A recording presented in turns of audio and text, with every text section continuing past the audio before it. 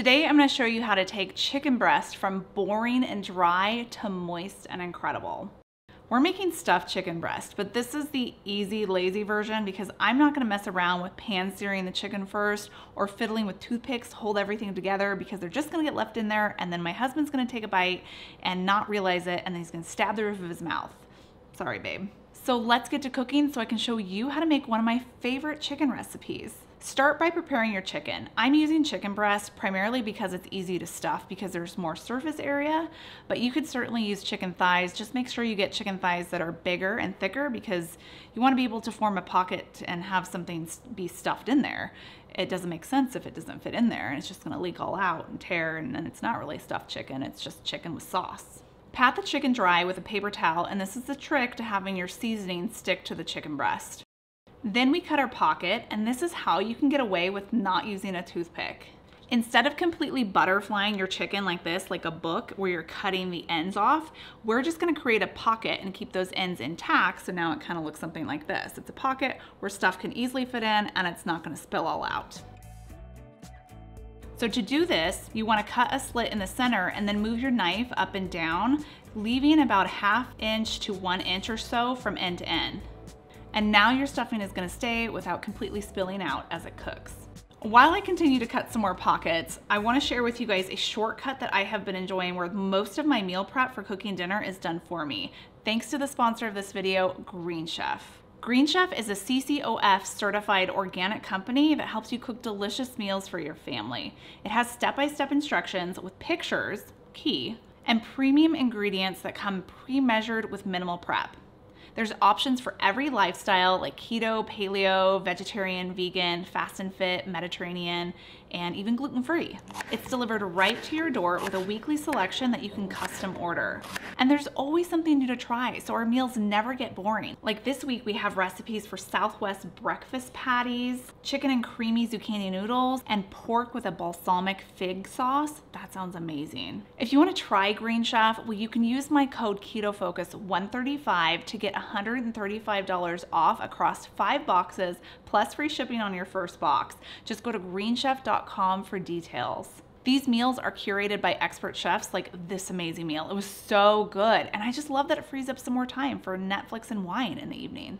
Again, go to greenchef.com and use code KETOFOCUS135 to save $135 off across five boxes plus free shipping on that first box.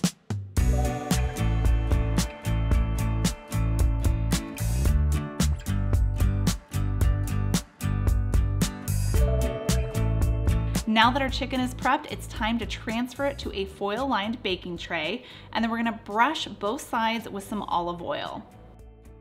Since we want the outside of our chicken to taste just as good as the inside's going to cook, we're gonna add a special seasoning blend. So I'm gonna include a teaspoon and a half of the following, salt, pepper, garlic powder, and paprika.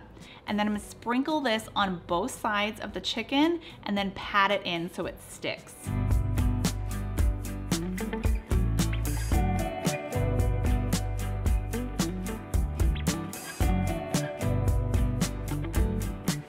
Now you're probably wondering what's gonna go inside this chicken? Well, we're gonna stuff it with a cheesy spinach blend.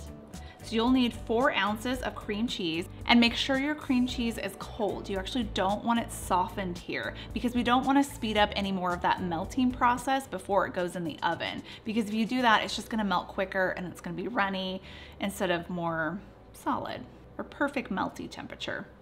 Two tablespoons of mayo, two cloves of minced garlic, although I did add three because you can never have enough garlic and two of these cloves look really small and two cups of chopped spinach. And I used fresh baby spinach leaves, but you can use frozen spinach. Just make sure that you thaw it first and you get all of that liquid out by pushing it through a strainer or using paper towels to press out the liquid. Then I'm gonna add in my secret ingredient, which is two tablespoons of pesto. For the cheeses, well, besides cream cheese, we're gonna use one cup of shredded mozzarella cheese and a quarter cup of grated Parmesan cheese. Mix that together, ideally not with a spatula because we know that doesn't work. I would recommend using a fork, it just cuts everything together a little bit easier. And now you stuff. And the more you stuff, the more chances that it has to actually spill out, but it only spills out a little bit and you can just put it right back on your plate. Bake it at 375 for 20 to 30 minutes, and the baking time really depends on how thick your chicken is. You wanna cook it until the inside, the thickest part of the chicken breast has an internal temperature of 165 degrees Fahrenheit. Is that not the most beautiful looking chicken? And it's so juicy. This is one dinner that you're gonna wanna have on repeat, just like this chicken casserole right here.